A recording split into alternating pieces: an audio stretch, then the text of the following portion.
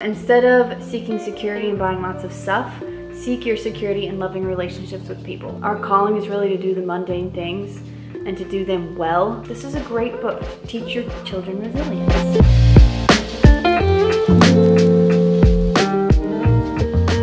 Hey guys, welcome back to my channel. Today I'm sharing with you my favorite books and pieces of inspiration that help me in my journey of living an intentional life, living a life full of health and wellness so that I can live with joy and work diligently. It all is truly woven together for me, and these books, these pieces of inspiration, are where I turn when I feel lonely and isolated because I, I do feel like living this way, you're walking the opposite way of the culture, which is telling you to buy more, have more, you know, want what they have. And also like when I just feel stressed and I I just need a break and I need to be reminded of why I'm doing this and why I'm choosing to live this way. I just, I love these books. I'm reading a few of them now. I'm also gonna show you ones that I've read in the past, but this is just, this is my core inspo for you. Well, for me, but also for you. so let's get started. I'm gonna start with a magazine actually. This is called Eden and Vine. This is not affiliated. Actually, none of these are affiliated. You can buy them on Amazon and I'll make a few cents from that, but this is just truly coming from my heart. Eden and Vine is written by a bunch of women who are faithful homemakers, wives, who honestly, they just share their story of their ups and their downs. And, you know, with recipes, homemade biscuits, how to plant the most beautiful garden that's flourishing every year. So many tidbits. This is the first one I've ever read and I cannot put it down. And I actually get in bed earlier because I want to read this. Like, one, it's beautiful. Look at all this. It's just, we have recipes, you have bakeries that they love, like stories about an afternoon walk that turned into an inspiration, tons of roses, tons of flowers, how to make your space comfortable and livable. It's just a very inspiring book in my season of life right now, as is The Life-Giving Home by Sally Clarkson. Just if you want stories, advice, encouragement, and reasons behind why motherhood matters and why having a tidy, character-filled home matters, she's gonna tell it to you right here. This has been so inspiring for me. A few things I know aren't really realistic for my family, but I can still listen to this and be like, that's a great idea. I wanna do that. She's actually the woman that encouraged me and inspired me to affirm my children and just tell them how much I love them. You make my life brighter. I can't wait to see you in the morning. Intentional little tidbits like that. This has been such a life-giving book. Next section is minimalism, simple living, and I wanted to start with this book called Power of Place. I don't have the book because I'm actually listening to it, but it's called The Power of Place by David Gothy. It's one of the best books I've read in the last two years, but it's just affirming encouraging, and an incredible reminder that as Christians, there are people that are called to the big tasks and big callings in front of a lot of people. But the majority of us are called to be faithful in the little things, to be faithful in the way we work at our marriage, to be thankful in the way we serve our community, serve our church, serve our family and stay rooted and just like literally stay in one spot. It was just something that I absolutely needed because it's easy, especially on my YouTube channel, to like see my success and be like, wow, I'm moving up, moving up, moving up.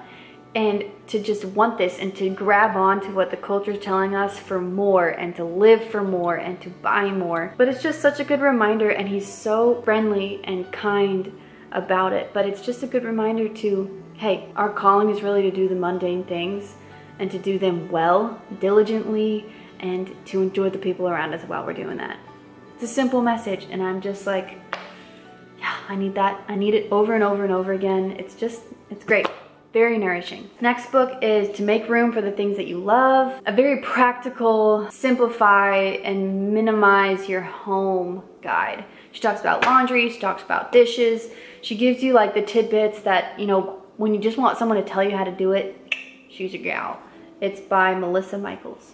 Great book. More of Less one of my favorites. I'm probably three fourths of the way done, but it's more of like the mindset shift around simple living and minimalism. Something that I probably will have in my bedside table for a very long time. Just when I feel like I'm being tempted by the world or by success, something like that, it just keeps me grounded and reminds me like, hey, these are the things that matter. I actually flagged a page because I wanted to read this really quick. Instead of seeking security and buying lots of stuff, seek your security in loving relationships with people. Just like an easy mindset shift.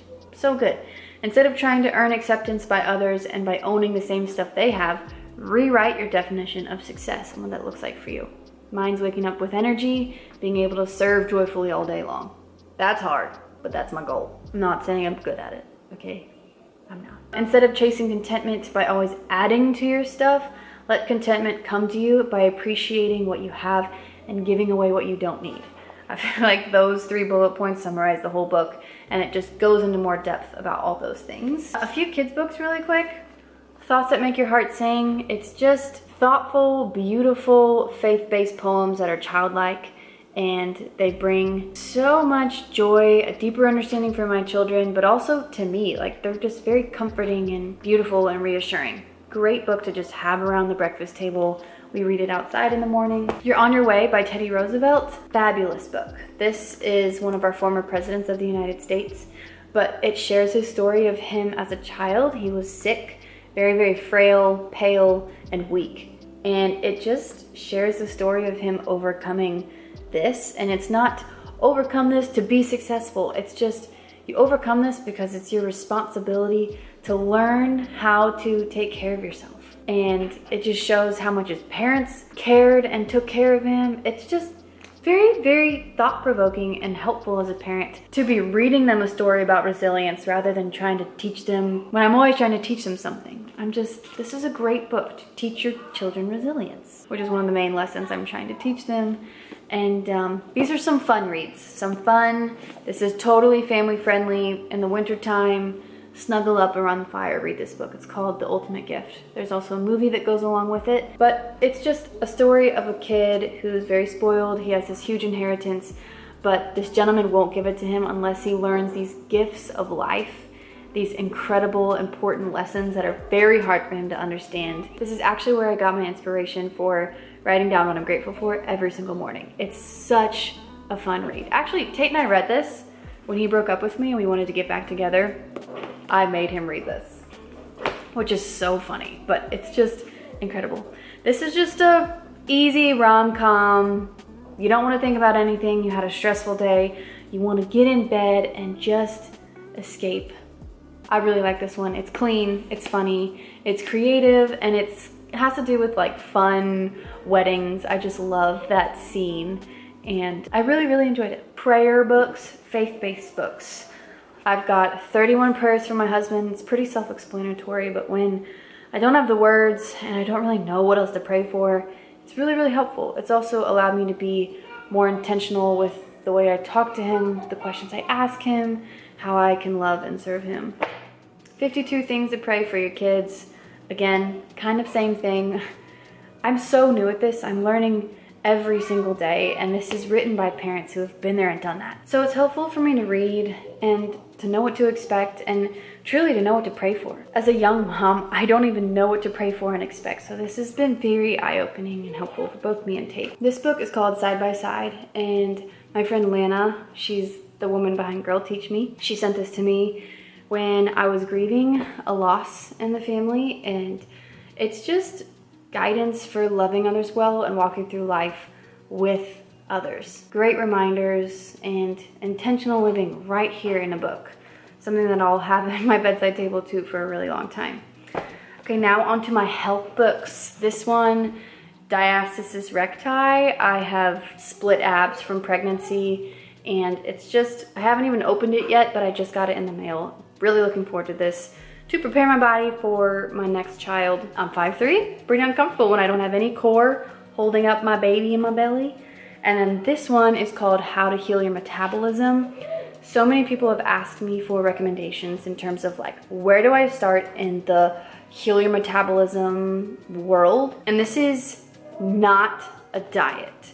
So don't look at this book and be like, oh, it's just full of, you know, restrictions. False. It's eating foods that just support your body and support your organs and help it thrive and heal and work well. It's where I got the bioavailable term of like eat foods that your body actually absorbs so that your body can use those nutrients.